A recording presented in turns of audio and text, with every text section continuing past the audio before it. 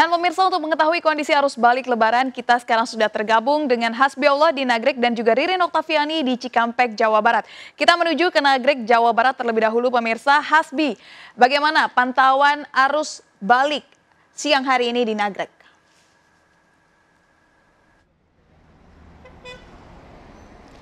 Baik Syafinas masih terlihat dominasi kendaraan di kedua arah baik itu dari arah Bandung menuju ke arah Tasikmalaya dan juga sebaliknya dari arah Tasikmalaya menuju ke Pasar Limbangan dan juga ke daerah Kota. Meski begitu kami melihat ada empat titik menjadi biang kemacetan antara lain adalah Pasar Limbangan, Lewo, kemudian Malangbong dan juga Gentong Tasikmalaya. Bahkan kemarin sore kemacetan hingga malam hari terjadi ini diakibatkan adanya pasar tumpah dan volume kendaraan yang ada di pasar Limbangan, kemudian juga penjempitan jalan di daerah Malangbong.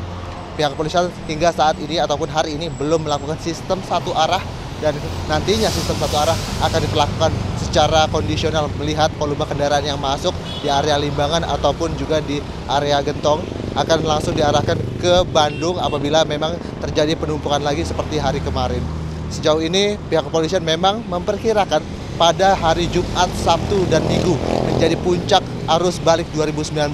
Maka dari itu mereka mempersiapkan sejumlah titik untuk menjadi alternatif. Seperti apabila Anda melintasi Ciamis diarahkan menuju Kawali dan juga Cipali, sedangkan dari arah Singaparna diarahkan ke arah Garut dan juga Bandung. Jika Anda dari kota Garut, Anda bisa langsung melintasi uh, Cijapati menuju ke daerah Bandung ataupun Majalaya. Syafinas. Baik, terima kasih Hasbi melaporkan langsung dari jalur Nagrek, Jawa Barat. Kita beralih ke Cikampek Utama dengan Ririn. Ririn, bagaimana pantauan arus balik siang hari ini di gerbang tol Cikampek? Siang hari ini pantauan arus balik dari arah Cikampek menuju ke arah Jakarta sudah mulai mengalami peningkatan jumlah kendaraan, di mana saat ini kendaraan dapat melintas dengan kecepatan 50 hingga 60 km per jam.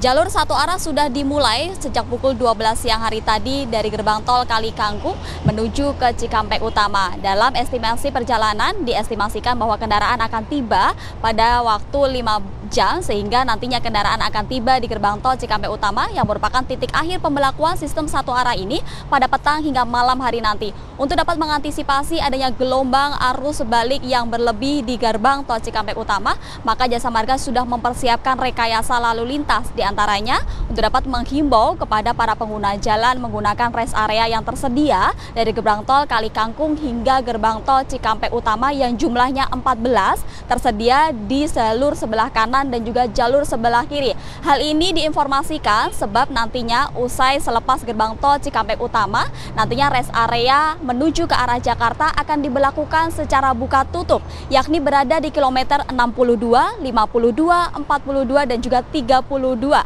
Selain itu, para pengguna jalan juga harus mewaspadai adanya titik pertemuan antara kendaraan dari arah Bandung menuju ke arah Jakarta dan Cikampek menuju ke arah Jakarta, yakni di kilometer 68. Selain itu, usai melakukan transaksi di gerbang tol Cikampek Utama, kendaraan akan terintegrasi langsung dengan rekayasa lalu lintas kontraflow, di mana kontraflow ini akan diberlakukan dari kilometer 70 hingga kilometer 65. Namun, jika nantinya terjadi kepadatan kendaraan, kontraflow ini akan diperpanjang hingga kilometer 29 menuju ke arah Jakarta.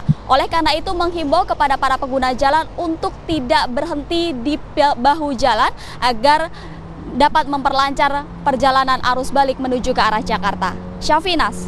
Baik, terima kasih Ririn melaporkan langsung dari Cikampek Utama dan juga Hasbi Allah melaporkan dari jalur Nagrek Jawa Barat. Terima kasih dan selamat bertugas kembali.